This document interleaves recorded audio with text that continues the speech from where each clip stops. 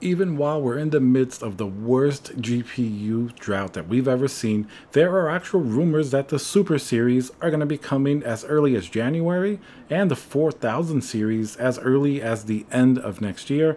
I think that's pretty crazy. Let's sort of go over what this may mean. Hey guys, Tiago with Classical Technology here. So let's go over this really quickly. Now, we don't have any GPUs readily available. The ones that are out there are generally going to be the light hash rate GPUs, like the 3080 Ti seems to have been popping a lot recently and the AMD GPUs have been a little bit expensive also 6900 XTs for over $2,000 so the landscape is not that great for GPUs so performance is not the problem here. It's not like we're saying, oh, we have these GPUs, but they don't perform that well.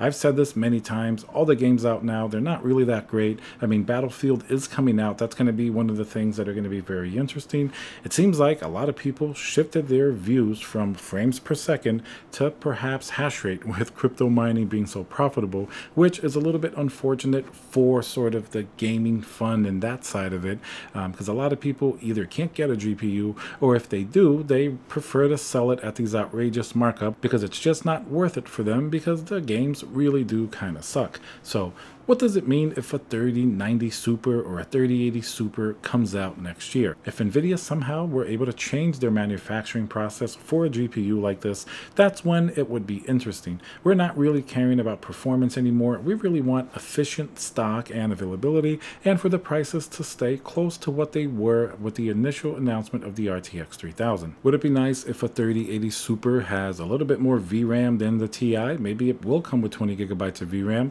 Yeah, that'd be pretty cool, but it's not something that people are absolutely clamoring over for. I think it's going to be better if they have a new manufacturing process. Maybe they change from Samsung to TSMC or something like that, where they can produce more of these, lower the price, and get them into the hands of gamers a lot more efficiently. Even with the crypto market booming, we really do have to focus on the future and what's going to actually happen with the PC building and gaming market, because I know, like many of you, that's really the market that's near and dear to our hearts. So it's really a shame to see it sort of collapse and GPUs strictly become mining and business tools. That certainly seems to be a little bit too cold and callous. So we'll have to see what the Super series will bring. Maybe more light hash rate GPUs. At least from the specs, they seem like they'd be very capable in terms of mining as it may have faster memory speeds like with the 3090 Super, but that's something that we're going to have to see. And then getting a little bit even more ahead of ourselves would be the RTX 4000 series.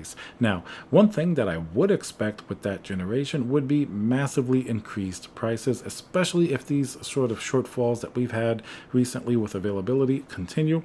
And according to what the NVIDIA CEO said recently, looks like 2022 certainly will be a year that we're going to have the same type of issues as we've had in 2021. So having said that, you can easily see how the 4000 series are going to be outrageously expensive. It may mean that more are available because people don't want to buy something so expensive, especially if the RTX 3000 series, the supers, do come out within a few months of that GPU.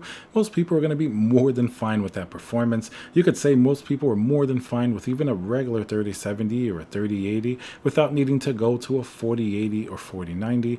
And if the drought continues, these GPUs now are still going to be expensive in a year's time, so that only tells you that a 4000 series would be outrageously expensive, and unless NVIDIA changes their manufacturing process to make it completely different than what we have now, and sort of the silicon shortage in the entire industry improves, we may be in for just years and years of the same type of shortages without being able to get these products at the MSRP prices that really they were intended to be at. So we will certainly keep our eyes towards the future. The Super will be the first things coming out. We're going to see how that affects stock and availability. The performance, I'm not really as worried about. Interesting to see what the VRAM comes out at. But the RTX 4000, while I'm sure it's going to have tremendous performance, unless something changes, I really don't think that's the type of news that we're very interested in now. We want to hear that they're making more 3000 series GPUs, and a lot of gamers still certainly want to get their hands on these cards. Alright guys, so remember to subscribe, smash that like button, let me know what you think about these GPUs coming out, probably even very very soon. Is it just too many products in a short amount of time that really aren't helping the stock situation? Not to mention the performance that we really aren't asking for at this point. Let me know what you think down below, remember to subscribe, and I'll see you guys on the next video.